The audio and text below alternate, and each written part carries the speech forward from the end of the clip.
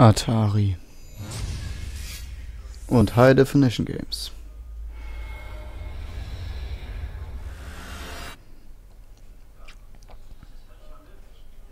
Powered by BioWare.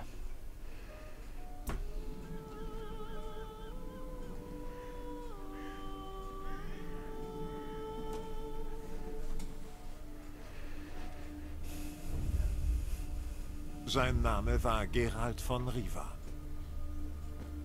Er war ein Hexer, ein professioneller Ungeheuertöter. Er bekam einen ungewöhnlichen Auftrag, einen Fluch zu brechen, der auf einer Königstochter lag. Dazu musste er nur die Nacht mit ihr verbringen, von der Abenddämmerung bis zum Morgengrauen. Wäre sie nur keine tödliche Bestie gewesen, keine Striege. Der für den Fluch verantwortliche Verräter diente als Köder.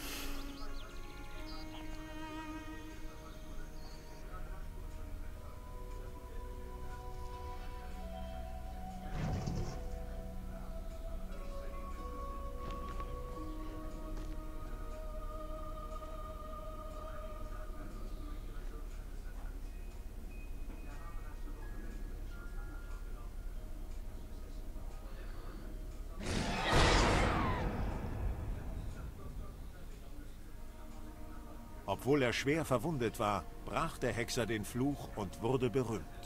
Die Welt veränderte sich, als der große Krieg kam. Das Zeitalter von Schwert und Axt. Das Zeitalter der Verachtung. Gerald von Riva verschwand und geriet fast in Vergessenheit. Doch das ist eine andere Geschichte.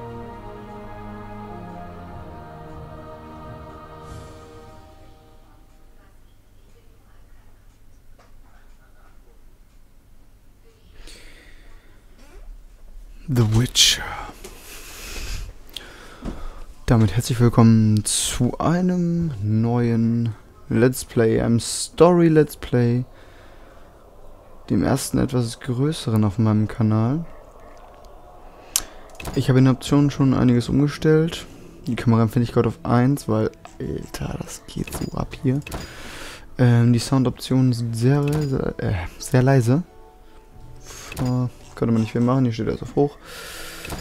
Und wir fangen ein neues Spiel an. Und zwar das da. Und zwar auf Mittel. Und zwar Maus und Tastatur. Und das war mein Handy. Ich hoffe, der Sound ist jetzt soweit richtig eingestellt. Ich hoffe, ich bin nicht zu laut. Ich hoffe, meine Freundin redet nicht so ganz so viel rein.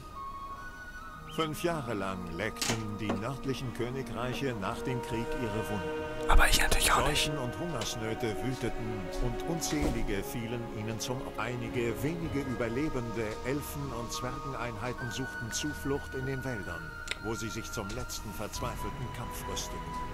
Abscheuliche Bestien beherrschten die Wälder, Straßen und einstigen Schlachtfelder. In Dörfern und Ortschaften fragten sich die Menschen, was mit den Hexern geschehen war. Die Blauen Berge im Norden von Kedwen. Das Jahr 1270. Fünf Jahre nach dem Großen Krieg.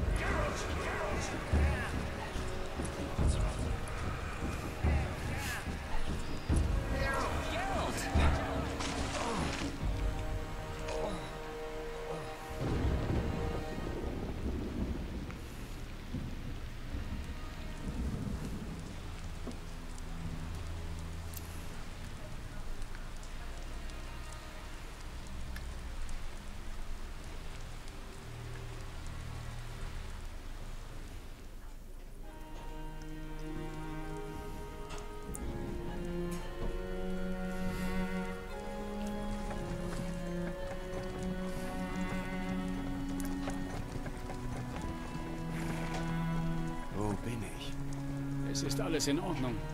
Ich weiß nicht, wo ihr gewesen seid, aber entscheidend ist, dass ihr lebt und unter Freunden seid. Ihr seht allerdings aus, als wärt ihr gerade dem Grab entstiegen. Danke, das gebe ich gern zurück.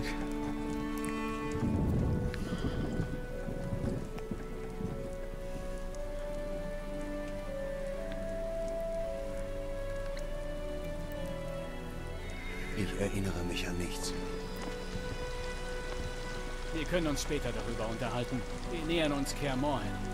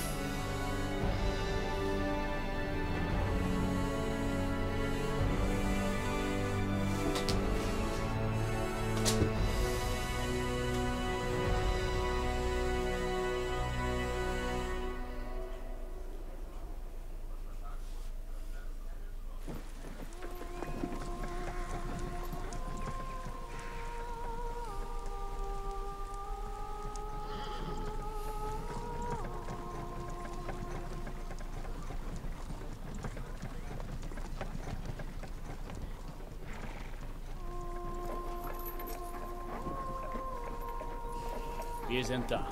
Leo, holt Triss.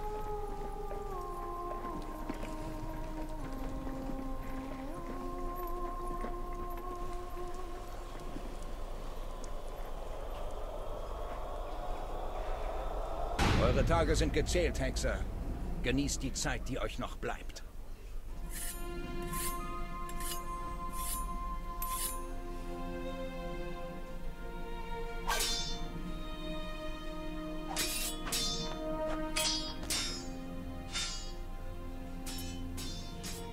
Nein, ihr habt die Parade vergessen. Ich sage es nochmal, auf eine Drehung folgt immer eine Kreuzparade. Immer.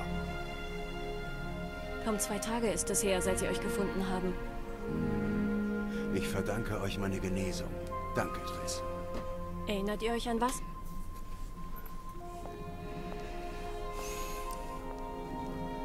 An kaum etwas. Da unten. Ich kenne die Bewegung. Drehung, Parade, Schlag.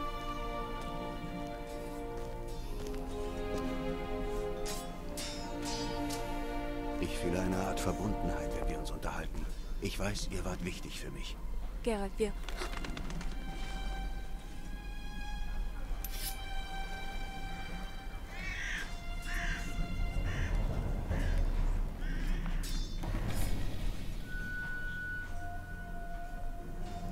Ich muss nachdenken. Die Zeit vergeht langsam in Kaer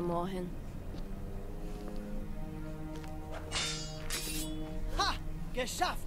Nicht schlecht. Ruht euch aus. Was denkt ihr, Gerald? Ist er bereit für den Pfad?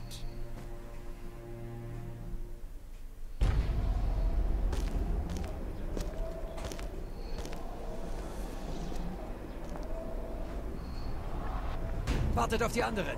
Er ist allein. Der Professor gibt uns 50 Ohrens für jede getötete Missgeburt. Er gehört nie.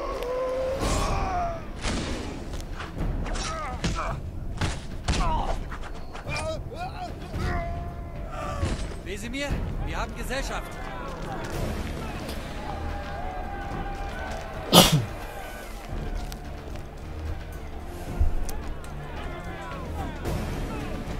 Ich schließe das Tor. Gerald, nehmt euch ein Schwert von den Trainingspuppen.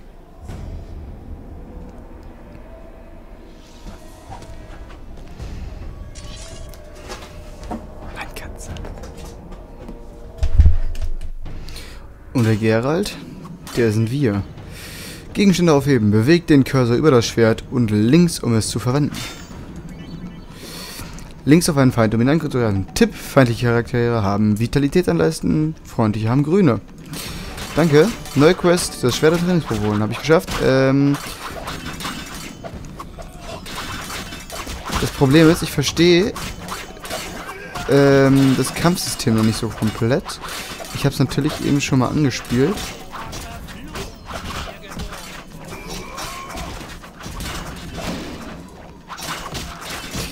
Denn irgendwie kann man hier zu schnell angreifen und das verstehe ich nicht so ganz.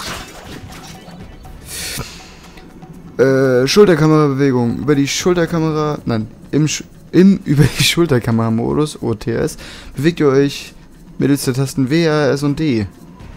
Bewegt die Maus über die Kamera zu rotieren, um die Kamera zu rotieren. Drückt und haltet die Umschalttaste, um den Cursor zu entsperren und frei zu bewegen. Danke, Katze, dass du das schon wieder aus dem Regal holst. Tipp, wechsel zu den anderen Kamerabody durch die Tasten F1 oder F2.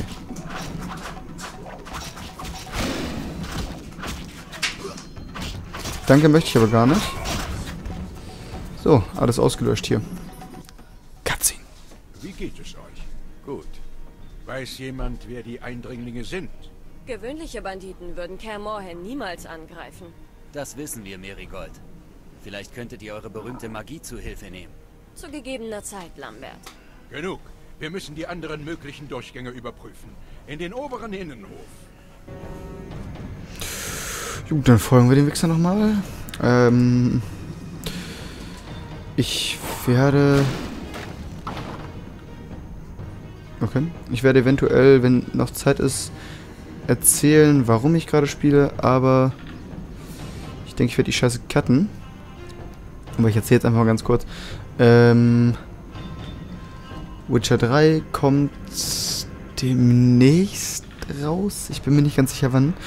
Und dazu will ich auch gerne ein Let's Play machen. Allerdings äh, habe ich mir gedacht, man sollte... Spiel unterbrochen. Okay, äh, man sollte eventuell ähm, die vorherigen Sachen verstehen. Und das habe ich mir gedacht, nimm's einfach mal auf. Okay, cool. Deshalb dachte ich mir halt, äh, Witcher 1 hast du schon, Witcher 2 hast du dir gestern gekauft. Du kannst auch mal Witcher 1 aufnehmen. Ähm, die Qualität der Grafik ist nicht so top. Ja, das ist mir schon klar. Aber das Spiel ist an sich ziemlich schön. Es ist schon relativ alt. Also relativ alt, naja, geht, ne. Aber ich halte jetzt einfach mal die Schnauze und wir machen die Quest noch. Psst.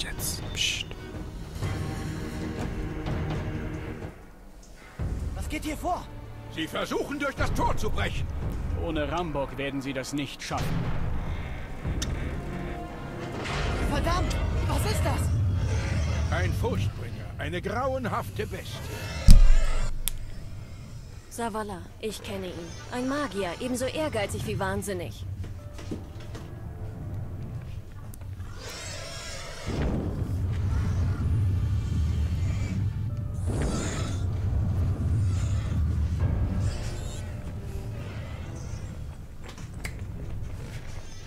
Kommen hier rauf. Macht euch bereit.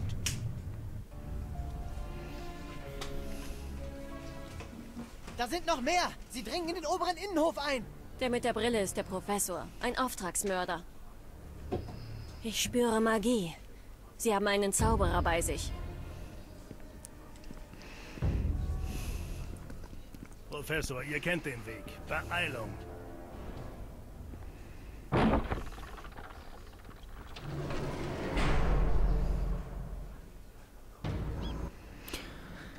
Der Professor wird in Redanien, Temerien und Ketwen gesucht. Er ist ein echtes Schwein. Den Zauberer kenne ich nicht. Merigold, ich interessiere mich mehr dafür, ob ihr Savolla unschädlich machen könnt. Der Rest ist Hexerarbeit. Ich versuch's. Sie kommen. Der Furchtbringer ist sehr gefährlich, aber empfindlich für laute Geräusche. Die Glocken im oberen Innenhof! Genau. Eskel, Lambert, ihr helft mir, den Furchtbringer und die Banditen aufzuhalten. Leo, ihr bleibt hinter uns.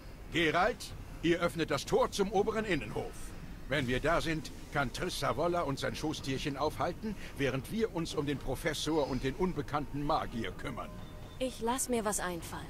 Los, wir versuchen es. Lasst sie hier ein wenig bluten, ehe wir uns zurückziehen. Gerald, folgt der Mauer und brecht zum Turm durch. Da gibt es einen Durchgang zum oberen Innenhof. Allein? Es sind nur Banditen, auch wenn einer möglicherweise berüchtigt ist. Ihr müsst das Tor öffnen. Wir warten. Viel Glück, Wolf. Danke, Meister. Oh, what the fuck, Karte. Äh, verfolgt die Minikartenmarkierung, um ein Questziel zu finden. Tipp links auf das Kartensymbol oder drückt die M-Taste, um die Karte eures gegenwärtigen Aufenthaltsorts zu sehen. Mensch, kennt man ja gar nicht.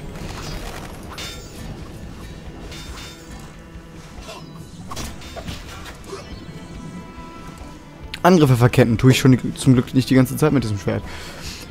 Verkettet eure Angriffe, um Feinde effektiv zu töten. Links nur dann klicken. Nein, links. Linksklick nur dann, wenn der Cursor sich in ein flammendes Schwert verwandelt. Tipp, das Verketten von Angriffen erfordert eine präzise zeitliche Abstimmung. Ein zu frühes Klicken wird zum Abbruch des Angriffs führen, während ein verspätetes Klicken die Sequenz neu startet. Warum Sequenz? Neustart. Was machst du da? Da scheint die Katze zu sein.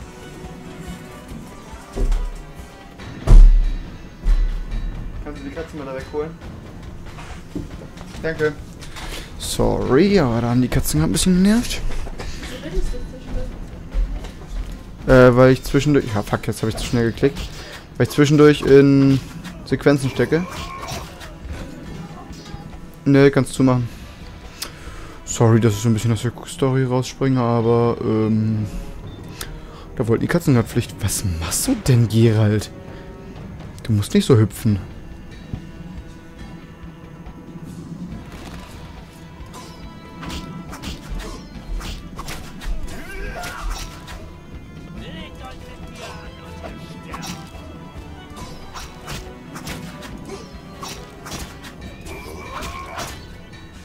Ihr habt euren Gegner gerade betäubt. Linksklick auf ihn, um ihn zu erledigen. Tipp, Angriffe können kritische Effekte wie Lähmen, Bluten und Schmerzen verursachen. Schatz, bitte setz mir die Katzen nicht auf den Kopf.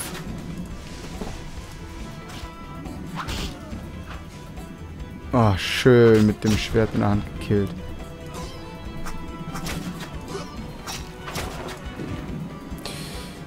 Das sieht irgendwie ungesund aus, was du da mit deiner Schulter machst, Junge. Kannst du das bitte lassen, Gerald? Ja, bis genau hierhin habe ich gespielt und keinen Millimeter weiter. Das Spiel läuft mit 99 FPS flüssig. Äh, die Cutscenes mit 1400 FPS, von daher dürfte alles flüssig laufen. Oh, hör auf hier rumzusprengen. Mann! Krebs! So, jetzt wollen wir den abschlachten.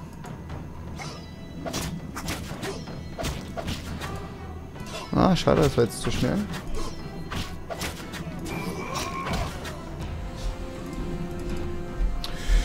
Ja gut. Salamanderarbeiter. Ne, Salamanderbandit. Entschuldigung.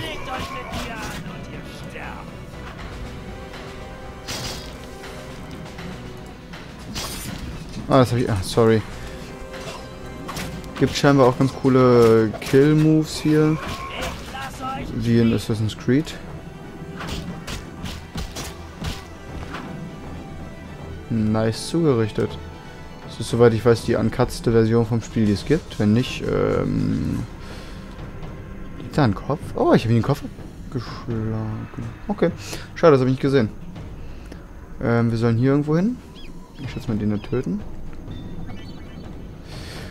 Benutze den schnellen Kampfstil, um agile Gegner zu bekämpfen. Wechsel den Stil durch Linksklick auf das Katzensymbol oder indem du X drückst.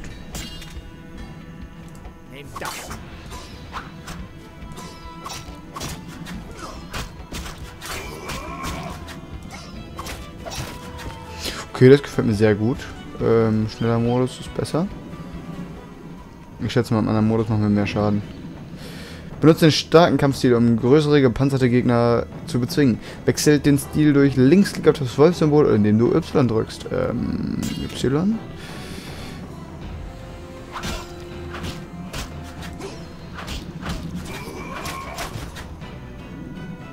Kalt gemacht haben wir den. Achso, so kann man dann auch hier draufklicken.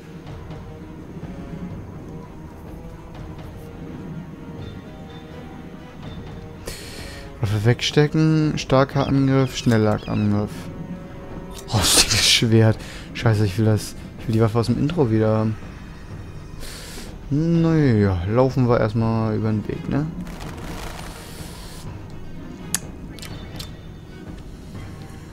Aktive Pause. Drückt die Leertaste, um den Pausemodus zu aktivieren. Tipp. Verwendet die aktive Pause, um zwischen den Kampfstilen zu wechseln. Dankeschön. Äh, machen wir doch mal das und dann auf den hier.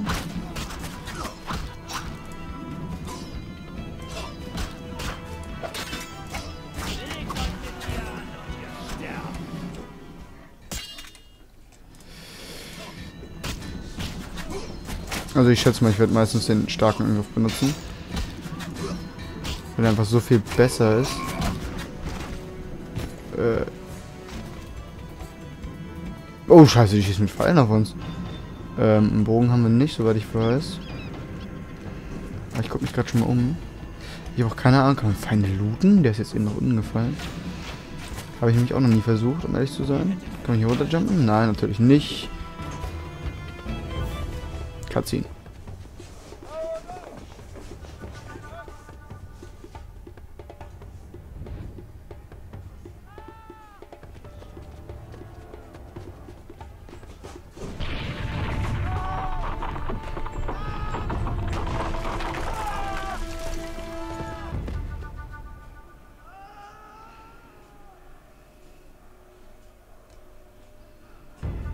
Hier geht's nicht weiter. Mir nach. Zurück zu Savolla. Puh, Mensch, das kommt ja erschreckend, dass es da nicht weitergeht, wa? Ja, das ist ein starker. Ich lass euch fliegen.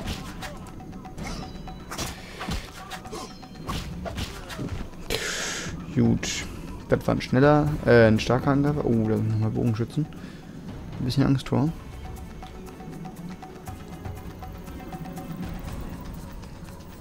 Okay, hier ist aber gar nichts.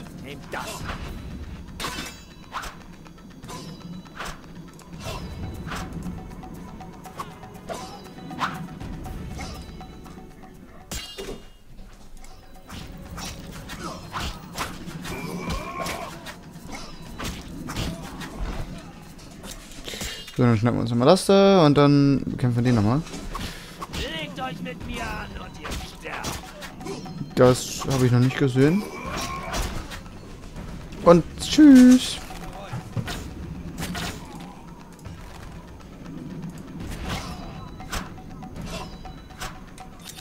Gut, dann müssen wir wieder auf Katze schnell und dann...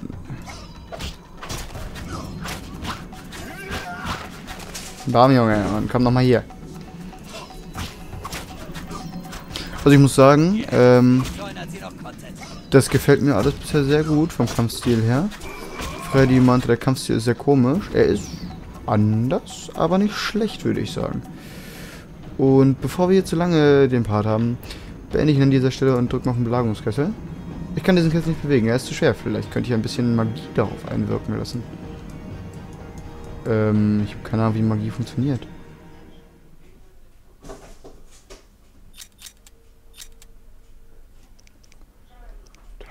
Tagebuch, Karte, System.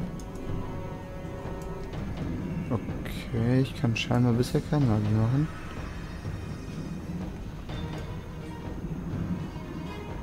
Okay.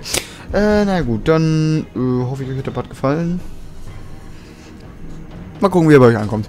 Bis zum nächsten Mal. Tschüss.